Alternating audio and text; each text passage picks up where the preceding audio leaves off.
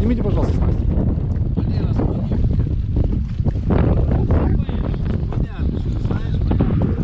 Будь ласка, поднимите снасть. О, драч, ё-моё.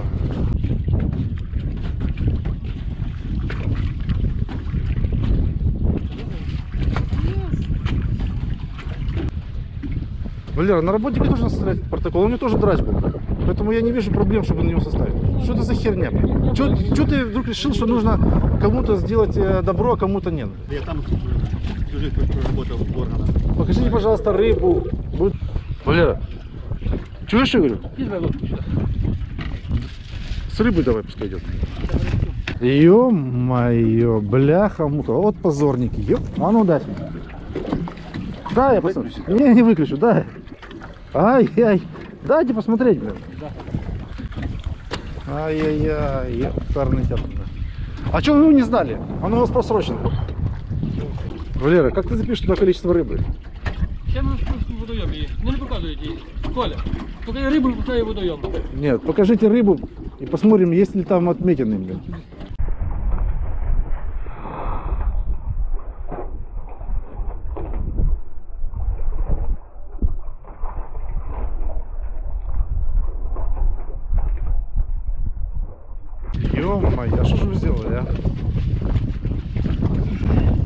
Ладно, вы взяли бы, вытащили бы сетку и вытащили бы из сетки рыбу, блин. А так вместе с сеткой выкинуть, ну нормально, блин.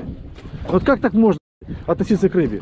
Вот потом, Почему- вот, вот почему правильно, что вот, вот на вас надо по полной программе составить протоколы, потому что это вообще... упало. Что упало? Упало. Я что, не видел? Приветствую вас, друзья, вы на YouTube-канале «Все для клёва». Сегодняшнее наше очередное видео, в котором я попытаюсь взять ответы на все вопросы, которые вы задавали в Одесском рыбохранном патруле. После того, как э, вышел ролик наш с 12-м рейдом, там, где мы с Валерием, эм, с инспектором Одесского рыбохранного патруля подъезжали на выкате глубокого Трунчука, там, где браконьеры выкинули садок сетью. Помните, да? Вот. И там очень много вопросов. Во-первых, э, почему инспектор не зашел в лодку и не взял садок? Второй вопрос, почему я не зашел в лодку и не взял садок? Третий вопрос, э, почему инспектор не изъял лодку? Четвертый вопрос, почему инспектор не изъял удостоверение общественного инспектора рыбоохранного патруля, которое было у браконьера? В общем, ответы на эти вопросы и другие с Одесского рыбоохранного патруля в сегодняшнем видео. Смотрите. Так, ну от начальнику я написав таке заявлення. Прошу вас вжити заходи реагування по обставинам, які висвітлені в відео, яке міститься на YouTube каналі нашим все для кльова, рейд номер 12, в якому інспектор, на мій погляд, не в повній мірі виконав вимоги рибохоронного законодавства. Вот написал это начальнику и посмотрим, как дальше это будет развиваться. Итак, друзья, находимся мы в гостях у э, заступника начальника Одесского рыбохранного патруля Алексея Власенко. Добрый день. Добрый день, Александр. Есть несколько вопросов. Вот по нашему видео, которое мы снимали с э, инспектором Одесского рыбохранного патруля во время рейда на глубоком трунчке, когда браконьер выкинул садок с рыбой. И вот есть у наших подписчиков ряд вопросов, в том числе и у меня, которые я немного иногда не- недопонимаю. Вот проясните, пожалуйста, моменты. Первое. Имею ли я право, как общественный инспектор рыбоохранного патруля, заходить в лодку к нарушителю и проверять садок с рыбой? Александр, согласно утвержденному положению про общественного инспектора рыбоохраны, вы не имеете такого права. Такое право дано статьей 10 Закона України про рыбное господарство, промысловое рыбальство и охорону водных биоресурсов э, только лишь э, инспектору рыбоохраны. То есть он, он имеет право заходить в лодку и проверять... осматривать, осматривать улов, осматривать лодку, проверять документы на регистрацию данного, э, данной лодки. Это полностью все перечислено в статье 10 закона, который я уже назвал. Поэтому э, к этому видео у меня также, как у руководителя непосредственно, есть ряд вопросов по, непосредственно по проведению этого рейда, соблюдения э, приказа 512 о проведении этих рейдов, который утвержден, кстати, в Минюсте, и вы, как общественный инспектор, я знаете, тоже знаю, знаете этот наказ. Поэтому э, на сегодняшний день мною после того, как я просмотрел данный видеоролик, была составлена э, доповедна записка на имя начальника управления э, с требованием провести дисциплинарное проваджение в отношении данного инспектора, который с вами не ходил, находился непосредственно в рейде, и я считаю, что он допустил э, массу нарушений, э, касаемых непосредственно проведения рейда, составления административных материалов, а, и данная доповедная записка подана на имя начальника управления мной сегодня. Я думаю, что она будет рассмотрена положительно, будет э, назначено дисциплинарное расследование как в отношении э, инспектора, так и в отношении руководителя, скажем так, відповідального за организацию работы Днестровского рыбоохоронного поста. И с материалами дисциплинарного расследования я ознакомлю вас дополнительно, потому что я в данной доповедной записке непосредственно настаивал на том, чтобы, так как негативный резонанс э, общественности очень большой, я читал непосредственно комментарии по, по, под этим видеороликом на YouTube, э, я бы хотел, чтобы э, все выводы, которые будут сделаны дисциплинарной комиссией, были непосредственно, были непосредственно доведены до общественности. Да, и обязательно я хочу попросить, чтобы было понятно, почему инспектор не проверил садок и игнорировал все мои просьбы об этом. Вы понимаете? Я там не раз- не раз к нему значит, обращался. Я, да, я из- изначально хочу вам разъяснить и для ваших подписчиков, для тех, кто будет смотреть непосредственно этот видеоролик, что э, когда вы подъехали к лодке и зафиксировали момент нарушения, а именно ловлю колючим путем багрения к колючим орудием лова, так называемым драч, то это уже квалификация грубого нарушения правил рыбальства. То есть это статья 80, 85, статья, э, часть 4 КУПАПа.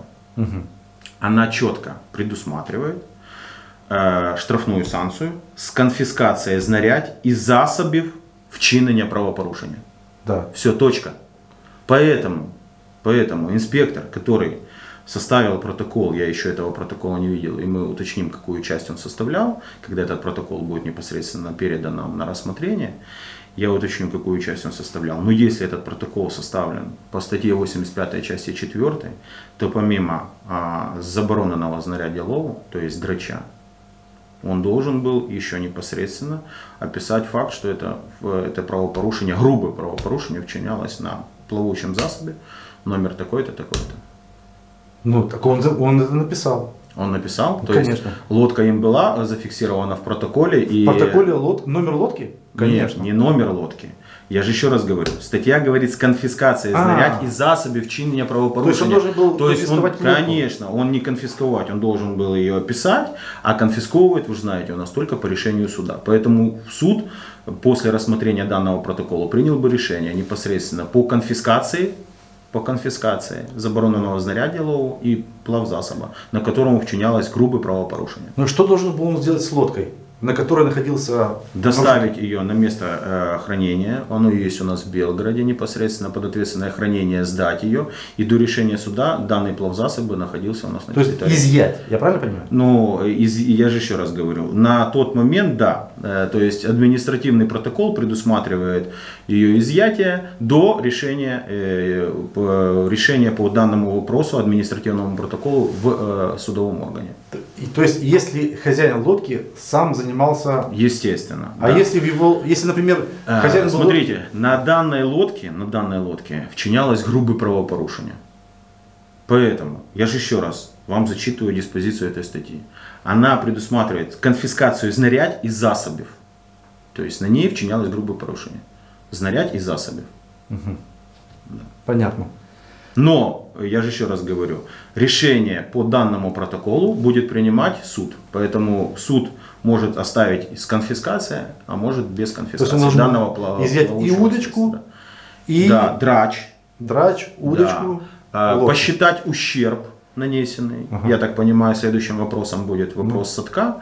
Да. Единственное, конечно, как он мог допустить такое, что сразу не вытащить садок, не осмотреть плавзасып, не, не вытащить садок, не посчитать ущерб. То есть, ну я же еще раз говорю, очень много вопросов, очень много вопросов. Кстати, вы видели, что ему звонили? Я так понимаю, что, наверное, на него давил. Кто-то давил. Поэтому Поэтому уже раскрою все карты и секреты моей доповедной записки. Я вас э, ознакомлю с ней, это да, документ. Поэтому а, основным аспектом и основными вопросами, которые я хочу, чтобы были в дисциплинарном проваджении, а, а, как бы донесены, донесены. Я хочу его опросить, а, кто ему звонил, э, и, как написано в моей доповедной, давались ли ему команды прекратить этот рыбоохоронный рейд, что для меня очень важно. Вот сейчас идет запрет рыбной ловли, да, не- нерестовый период. э, И, к сожалению, большому сож- сожалению, вне тех разрешенных участков, на которых разрешено там ловить на одно удилище с одним крючком не более 3 килограмм рыбы, сидят рыбаки и ловят там на 5 удилищ и вне этих зон. Особенно от стрелки выше по течению. Скажите, пожалуйста, будут ли применяться какие-то меры, в конце концов, чтобы прекратить вот этот беспредел на реке? Я сам хотел остановиться на этом вопросе. Спасибо, что вы его подняли. Значит, а мне бы хотелось, чтобы каждый э, в период запрета, каждый бы начал бы с себя непосредственно и соблюдал бы правила любительского и спортивного рыболовства. Потому что я вам хочу сказать, очень редко встретишь э, рыбака, который, поймав карпа на 3 килограмма, собирается на 10 минуте и уезжает домой. Или в дальнейшем выпускает эту рыбу. Ни в коем случае я в этом вопросе не убираю роль рыбинспекции. А, Мы будем контролировать этот момент. Мы просим звонить нам по вопросам м, правонарушений, которые вы видите. А, Телефон вы, пожалуйста, укажите дополнительно Сделаем горячей линии. Да. А, Он везде есть. Э, Профилактическая работа нами проводится. Реагируем мы постоянно. Тем более, что вы же видите, мы очень часто стали привлекать общественность к рейдам. Очень много у нас общественных инспекторов сознательных, которые участвуют как и в рыбоохоронных рейдах на воде, точно так же и на рынках э, города Одессы и области. Сейчас период нереста непосредственно очень многих будет интересовать вопрос, откуда появляется рыба на рынках, так как есть запрет. Поэтому мы отслеживаем и эти вопросы. Хотелось бы сказать огромное спасибо общественности, которая реагирует непосредственно на нарушения и нам сообщает. Когда будет рейд по рыбе, обязательно меня пригласите. Обязательно пригласим, обязательно пригласим, чтобы вы воочию посмотрели. Но насколько я понимаю, сейчас у нас рынки закрыты в связи с карантином, поэтому я думаю... Продают возле рынков. Вот, вот э, так называемые дорожки. Да. Поэт- да. Поэтому э, я думаю, что мы обязательно вас пригласим э, непосредственно в этот рейд, а вы зададите вопросы касаемые, э, откуда эта рыба, есть ли на нее накладные и кем она предоставлена для продажи, и почему люди торгуют в запрещенных местах. Поэтому вы же знаете, моя позиция была от первого интервью и в дальнейшем с вами, что мы всегда рады. Мы всегда рады и спасибо, что вы тот общественник, который не дает спокойно спать браконьерам. И я и вам не даю спокойно спать. Ну, это наша работа. Вот. Это наша И- работа. И я с удовольствием еще раз говорю. Алексей, знаете, что мне понравилось? Нравится больше всего? Да. Открытость Одесского рыбоохранного патруля. Что я могу прийти и задать вопросы и получить на ответ. Вот это самое главное. Ну, потому что не э, вы работаете для нас, а мы работаем для вас, для государства для людей. Вот и хорошо.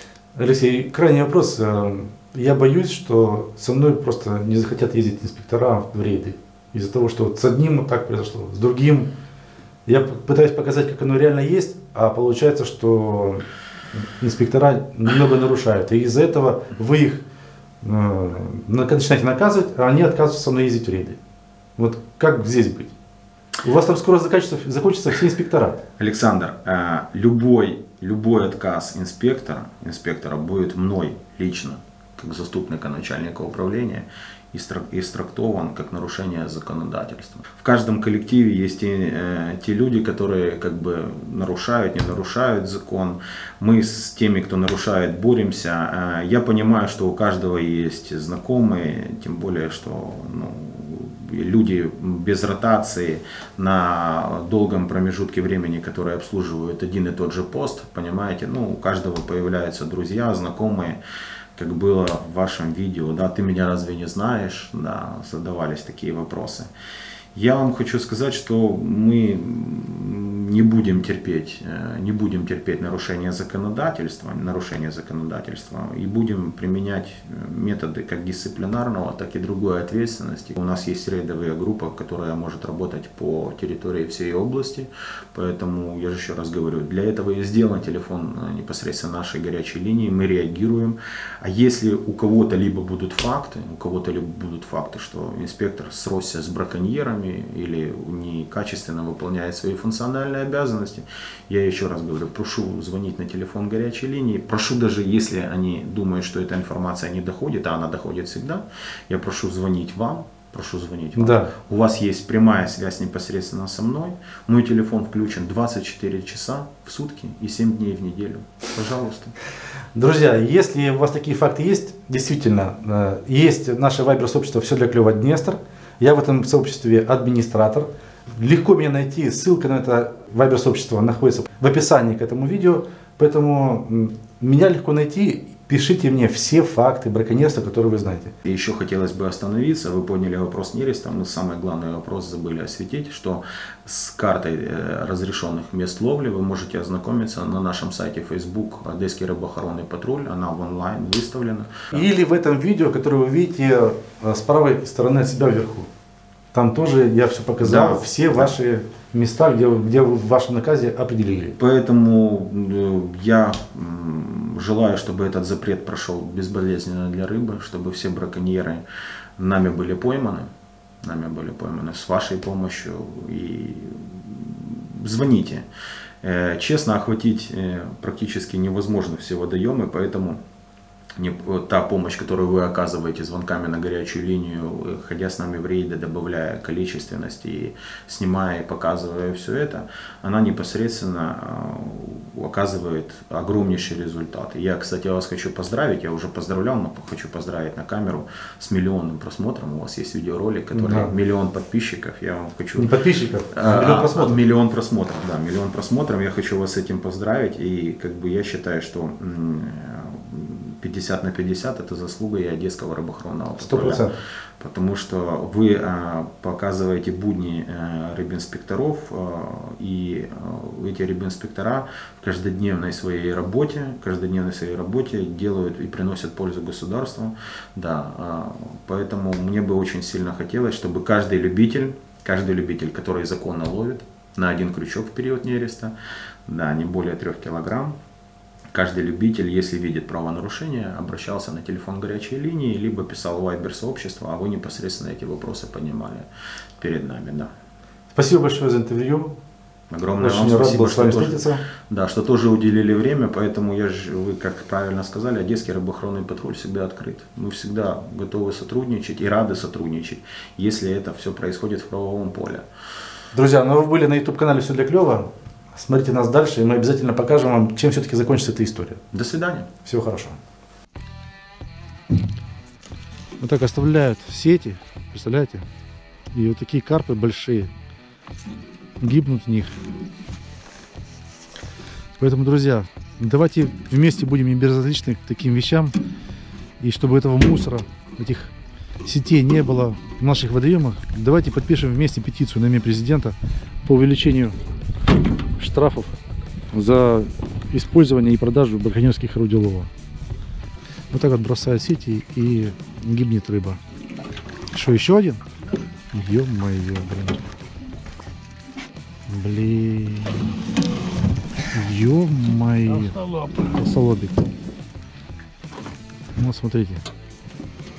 Толстолоб на десятку, карп на десятку и второй карпик где-то тут уже на шестерочку.